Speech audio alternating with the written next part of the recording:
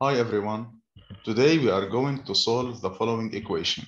e power sine hyperbolic x minus e power minus sine hyperbolic x equals 2 sine hyperbolic of 3 over 4.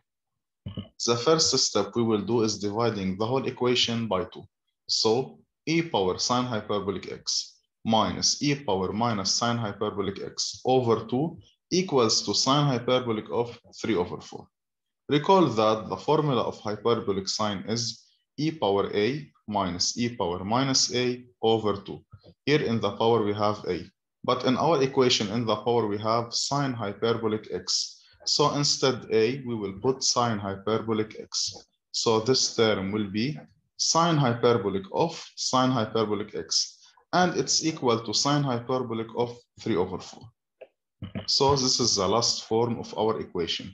Now comparing the two sides, we can conclude that sine hyperbolic of x equals to 3 over 4. But we know that sine hyperbolic of x is exponential x minus exponential minus x over 2. Therefore, our equation becomes e power x minus e power minus x over 2 equals to 3 over 4. Now multiplying the whole equation by 2 to get e power x minus e power minus x equals to 3 over 2.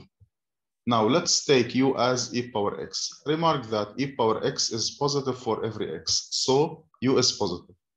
Then the equation becomes here instead of e power x, we will write u. And e power minus x equals to 1 over e power x, and which is 1 over u. So the equation becomes u minus 1 over u equals to 3 over 2.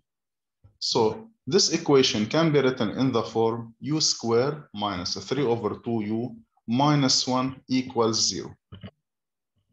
So this is a quadratic equation and we will search for u using the quadratic formula. Then u equals 2 minus b, which is 3 over 2, plus or minus square root of delta, which is b square minus 4ac, which is 9 over 4, minus 4 multiplied by 1, multiplied by minus 1, all over 2a, which is 2. Then we have here 9 over 4 plus 4, which is 16 over 4.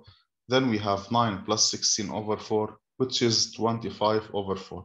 But 25 over 4 is 5 square over 2 square. So this term will be 5 over 2.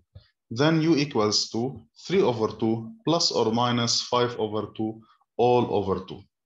The first root is 3 over 2 minus 5 over 2 all over 2, which is minus 1. And it is a rejected solution because u is positive.